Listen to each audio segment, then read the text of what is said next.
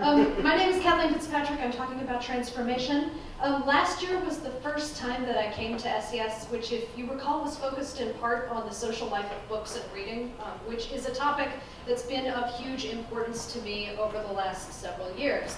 Um, last year here, though, I found myself a little bit distracted as I was in the middle of considering a really enormous career change. I had spent the previous 13 years as a professor of English and Media Studies at a small liberal arts college in Southern California, and just before arriving here, I had been offered the job that I now have, completely out of the blue. And I mean really, really out of the blue. The job didn't actually exist um, that I was being offered.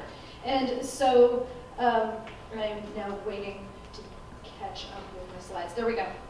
The organization that I work for had a long-standing book publication program, a long-standing journal publication program, and those, you know, had been around, as you might guess, for a long time. They did what they did with the kind of efficiency that those programs work with, but they were starting to feel the pressures of the 21st century as younger scholars, and I don't necessarily mean that as a chronological designation, um, but one that's more about mindset or methodology were starting to demand new kinds of access to the products of scholarly research.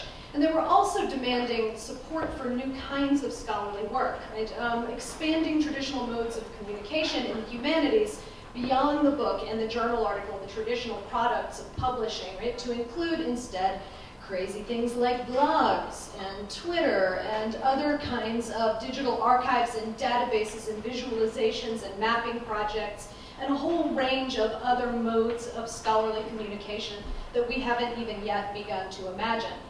So this was a challenge that, as it turns out, I couldn't resist. Right?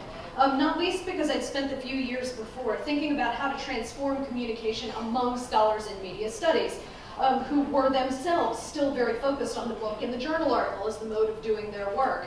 Um, and so founded Media Commons, which is a platform that attempts to provide these scholars with a range of tools that are, enable the production of new kinds of scholarship with a range of weights and time signatures and forms of mediation um, from the blog post through what we think of as middle state publishing all the way up to the monograph, um, all of which are presented in open, malleable, discussable formats that are intended to produce some kind of deeper interaction between the scholar and the media object. Um, I've also, at the time, had been working on a book project called Planned Obsolescence, um, Publishing Technology and the Future of the Academy, which I had released um, a couple of years before online for open peer review, and which is now at last out in print from NYU. Now, here's the thing. I'm a humanities scholar, right? An English professor by training, which you can tell by the fact that most of my slides are just words. Um, but there's, there's been lot of talk um, around a certain kind of cultural studies professor for years about the desire to be a public intellectual. But these scholars, even the ones who want to be public intellectuals, have until very recently almost never actually done their work in public. And the idea of approaching an English professor and saying, hey, let's find out if your research actually works in the real world is kind of shocking. Um, so I was not to put too fine a point on it, terrified. I mean, what if all of these ideas that I had um, turned out actually not to work? What if I got rid of the safety net of tenure um, and discovered that I really wasn't all that good a tightrope walker after all.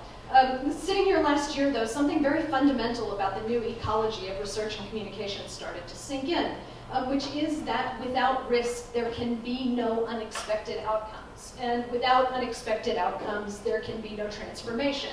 And transformation in scholarly communication is my, my primary goal. So last year, sitting in this room, I made the decision to leave. I started my new job six months ago, and while I'm still getting my bearings, um, having spent the first six months mostly trying to figure out how things have been done for the last 40 years and why, um, I'm, I'm beginning to see the real potential for transformation on the horizon. And for instance, our annual convention, which was just last week, was wildly successful, um, if, if for no other reason than the way it began to really showcase new presentation strategies and the ways that they can impact greater communication amongst scholars.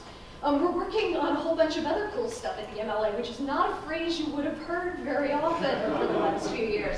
Um, but I'm looking forward to being able to announce some of that stuff in the coming months. Um, but the key point of this talk is basically just to say thank you to SCS um, for inspiring and encouraging me to take a chance um, so that I can hopefully encourage other scholars to take some chances too.